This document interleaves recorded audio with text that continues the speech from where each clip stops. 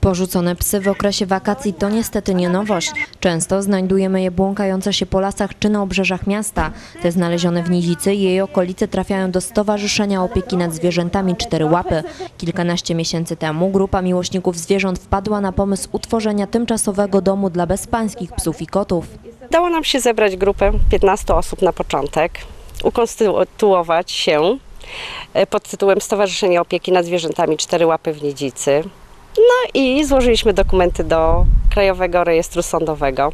I w styczniu, 24 stycznia tego roku dostaliśmy osobowość prawną, zostaliśmy wpisani do Krajowego Rejestru Sądowego, no i po prostu jesteśmy. Zapotrzebowanie na takie stowarzyszenie w Nidzicy było już od dawna. Dzięki grupie ludzi, którzy bezinteresownie chcą pomóc zwierzęta, nie błąkają się już bezpańsko po ulicach miasta. Stowarzyszenie nie otrzymuje pomocy finansowej od samorządów. My jesteśmy tylko partnerem gminy. To, co Państwo tutaj widzą wokoło na, na, na, na tej mojej biednej działce, to jest dom tymczasowej opieki nad zwierzętami, czyli to jest taki zalążek, to jest to, czym my z definicji się zajmujemy. To, co mamy zapisane w statucie, czyli opiekujemy się porzuconymi e, zwierzętami po przejściach, e, okaleczonymi, chorymi, wyrzuconymi. Wszystko to, co najgorsze ich w życiu spotkało, staramy się im zrekompensować, dając, e, znajdując nowe domy, opiekując się nimi, resocjalizując, bo często są to zwierzęta tak e, skaleczone przez życie mentalne, że się boją, że, że no nie mogłyby w takim stanie trafić do jakiegoś e, domu i być, być jakimś skarbem i członkiem rodziny. Obecnie opiece podlega ponad 20 zwierząt.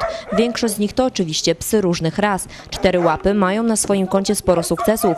Wiele z przebywających zwierząt znalazło nowe domy. Członkowie stowarzyszenia nawet po adopcji zwierzaka są chętni do pomocy nowym właścicielom.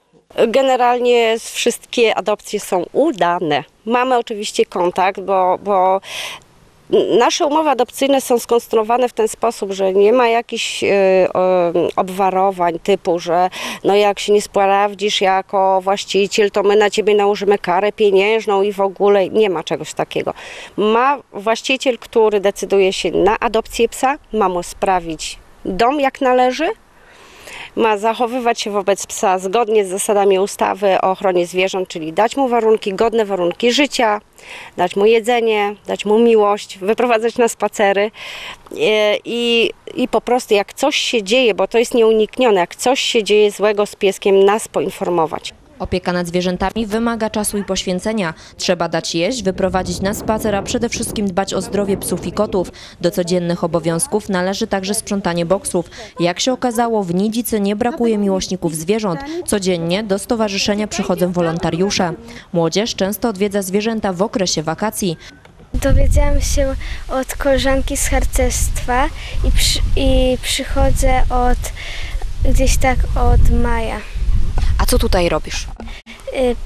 Y, Bawię się z psami i wyprowadzam je.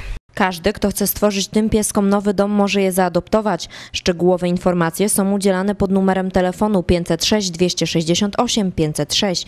Stowarzyszenie Opieki nad Zwierzętami Cztery Łapy potrzebuje pomocy finansowej, a także karmy dla zwierząt. Przed zbliżającą się jesienią i zimą potrzebne są koce, śpiwory czy słoma.